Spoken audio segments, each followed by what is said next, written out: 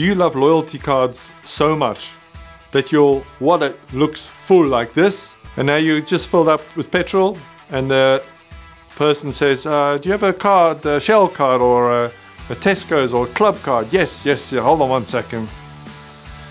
No, no, no, no, no, no, no, no. Oh, sorry, hold on a second. Um, um, oh yes, yes, there's my Shell card.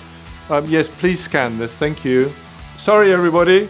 And that was exactly me in the past. Until I found the most amazing free app, yes you heard me, free app called Stocard. And with this app, once you've downloaded it, you can scan all your cards, whether it's AA, Shell, Waitrose, even my favorite one, Screwfix.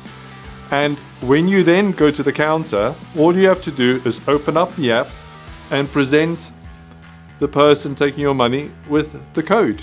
They love it because it makes it faster for them as well. And from a security point of view, every time you open the app up, it asks you either for your fingerprint or of course if you're an iPhone 10 user, you can do face recognition and it opens the app up really fast with all your cards.